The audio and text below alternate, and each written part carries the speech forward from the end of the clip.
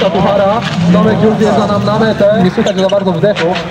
Fajny skok. Słuchajcie, Xavier Panseri, który jest jak wiadomo Francuzem.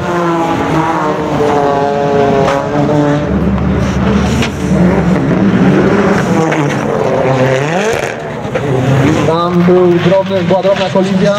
Piękny, zwłaszcza... No słuchajcie, no chyba w zeszłym roku i dwa lata temu e,